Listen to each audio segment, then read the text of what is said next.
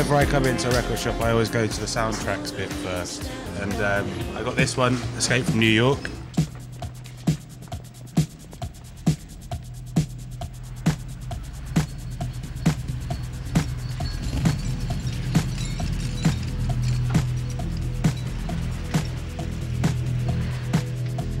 I tried to look for They Live. They, it wasn't here.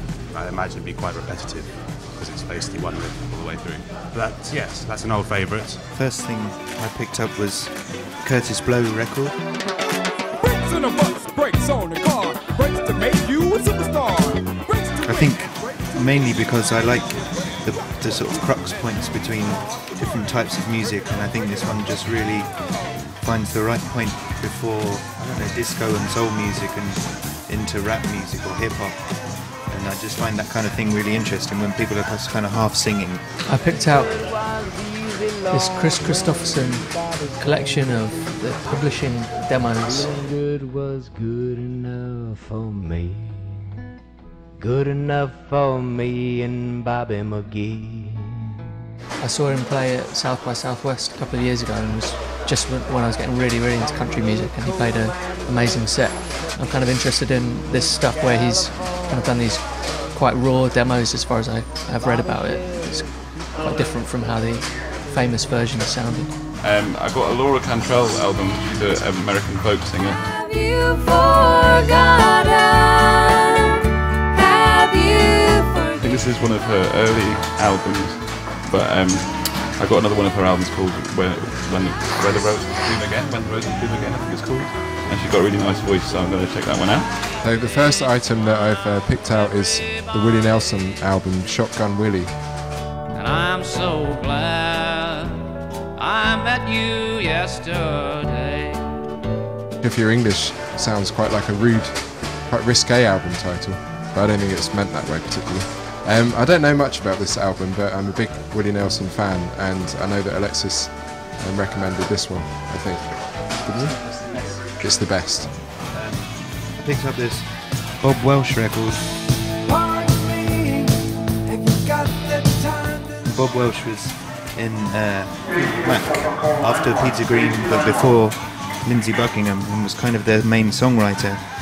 And um, once he'd left, he he played played a lot of sort of similar music. But when he played this album to the rest of Fleetwood Mac, they um, they basically disowned him and didn't want to didn't want to know. So I'm intrigued as to what was so offensive by that. I picked out this DVD, Tripping with Caveh.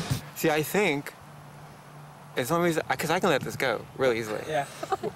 I think that God would rather you took that mushroom. Mm-hmm. I'm never gonna look at it. Whoa! See it? So why are you doing this one? Doing what? What were you doing?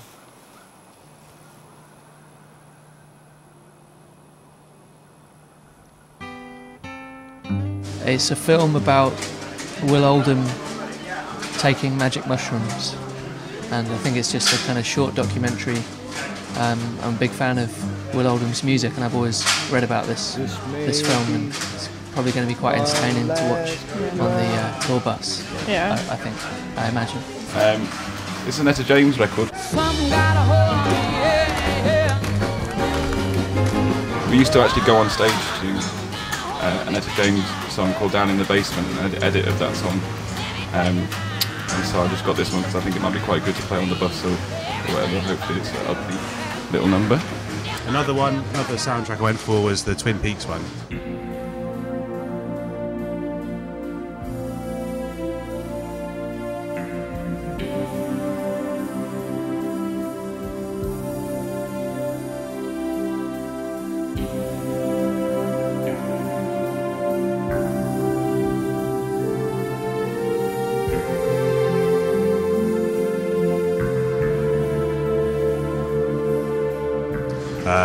tried to get it online, uh, but they only had like awful Muzak versions. Uh, this one's quite Muzak anyway, in a, in a way, I suppose. But um, I really like it, and I want to to on the bus. So there.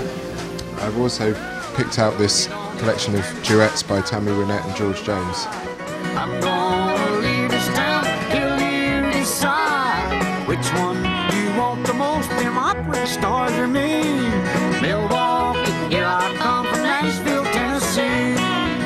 I'm a big fan of the Bob Dylan radio show, and he very often plays um, these duets, which is quite a good recommendation, I think. I'm also going to buy this Charles Hayward record, despite the fact that it's um, a tribute to Mark Rothko, who I don't really like that much.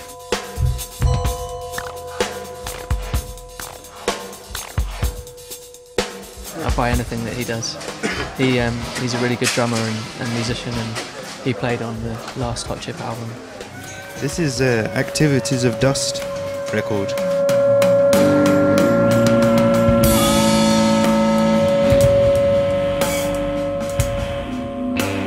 I couldn't resist buying anything that had Doug Scharin on drums, Jeff Parker from Tortoise on drums, and Bernie Worrell from Funkadelic and Talking Heads, I guess, on synthesizers. And I'm hoping that's good. This one's classic John Cale, Paris 1919. This one's got um, a lot of outtakes and alternate versions and things. It's got John Cale looking very dapper there.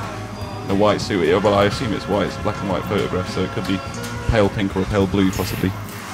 I'm going to buy this Swamp Dogg compilation of two albums. And can someone please explain this word called equality? He's a Southern Soul singer from the, still making records now, but made a lot of the best ones in the 70s. Um, we all listened to the song God Bless America for What a lot when we were on tour a couple of years ago. It's probably my favourite tune that I've discovered. Um, this is a Hungarian gypsy music CD.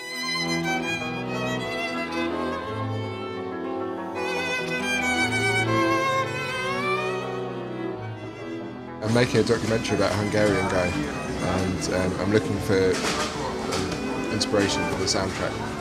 And, and he he's a big fan of Hungarian gypsy music, so he may recognise some of the tunes on here. I'm not going to try and pronounce any of them, but um, I always said girls are dangerous. There you go, managed to pronounce Pronounced that. yeah. My Hungarian is, is flawless. Uh, last one, this is actually recommended to me by Joe. Brothers, I would give my life for my brothers. When we're driving and it's late with my brother sat next to me. Right here's Paul Simon with the song album You're the One. But I actually bought it for, for that song.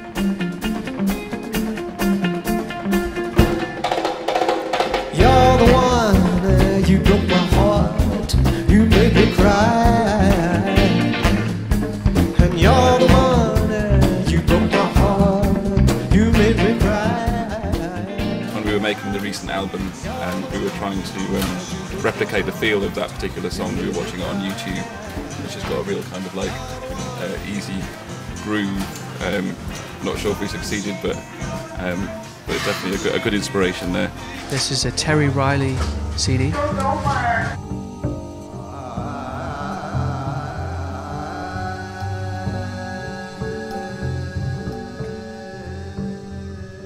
But this is a record which seems to have vocals, which is quite rare for Terry Riley to be singing as well as playing piano, and he plays harpsichord as well. Um, so that's something I know nothing about what it would sound like, but I just, a bit like Charles Hayward, I tend to buy anything that Terry Riley is involved with. It's a Zawinul record, Joe Zawinul from Weather Report. It has his version of a song he wrote called In a Silent Way.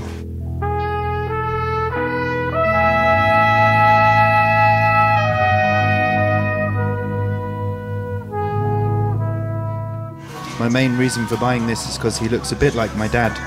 And for Alexis' birthday, uh, he wanted us to all wear moustaches. So I'm going to use this as a model for my moustache. I got this one, Sisters of Mercy.